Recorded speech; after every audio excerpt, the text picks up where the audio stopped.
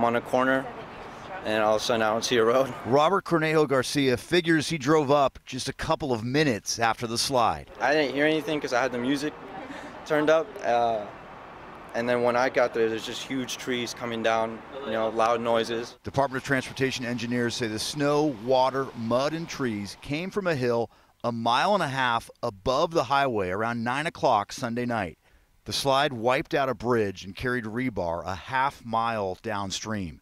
Searchers looked for any cars that might have been swept away, but it doesn't appear anyone was hurt. It Took a couple of minutes to, you know, calm down a little bit. I was shaking a lot. But Cornejo Garcia, 11 others, and one dog, Malu, were all trapped by the landslide and forced to spend the night. It's the heat, the the snow melt, and that led to a landslide, and now we got to be helivac.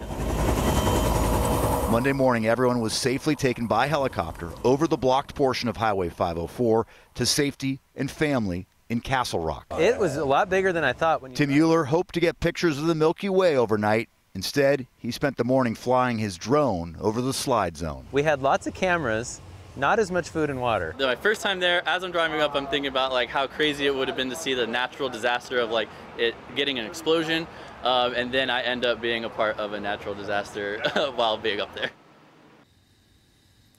Those folks were stranded there because Highway 504 ends at the Johnston Ridge Observatory. It's a dead end.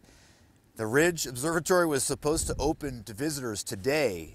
Now it's not clear when it will open because this is not just a cleanup that has to happen, a new bridge has to be built for the highway.